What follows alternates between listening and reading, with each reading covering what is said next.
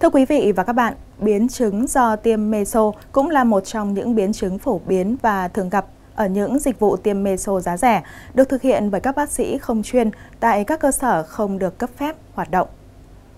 Bệnh viện Gia Liễu Trung ương Quy Hòa, thành phố Quy Nhơn, Bình Định đã tiếp nhận nhiều trường hợp biến chứng về thẩm mỹ, điển hình là trường hợp bệnh nhân nữ 30 tuổi nhập viện do biến chứng tiêm meso. Vì muốn căng da và giảm thâm vùng mắt, người bệnh đã đến làm đẹp tại cơ sở spa có quảng cáo tiêm meso giá rẻ. Sau 24 giờ, người bệnh có dấu hiệu kích ứng da, các nốt sần tại vùng tiêm không biến mất mà ngày càng có dấu hiệu đỏ hơn, cảm giác ngứa, rát, kèm châm trích nên đã quyết định nhập viện.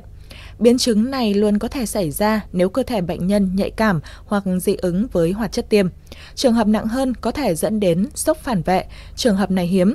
Để tiên lượng nguy cơ dị ứng, chúng ta có thể tiêm ở vùng nhỏ và theo dõi vài phút, nếu không có biểu hiện gì khác lạ có thể tiếp tục tiêm phần còn lại. Theo tiến sĩ Nguyễn Hữu Quang, Phó trưởng khoa phẫu thuật tạo hình, thẩm mỹ và phục hồi chức năng, Bệnh viện Gia Liễu Trung ương, kỹ thuật Quá trình tiêm tưởng chừng đơn giản, nhưng nếu người thực hiện thủ thuật không được đào tạo bài bản, không nắm rõ giải phẫu tại vùng tiêm có thể dẫn đến sai sót. Lượng thuốc, tốc độ tiêm không được điều chỉnh phù hợp, vùng tiêm không đều, mất cân đối cũng có thể dẫn đến hình thành nốt sần, sưng tấy, đau nhức, tăng khả năng gây phản ứng u hạt. Ngoài ra, nếu không tuân thủ quy trình đảm bảo vô khuẩn, tiêm meso cũng dễ bị biến chứng, bội nhiễm do vi khuẩn xâm lấn.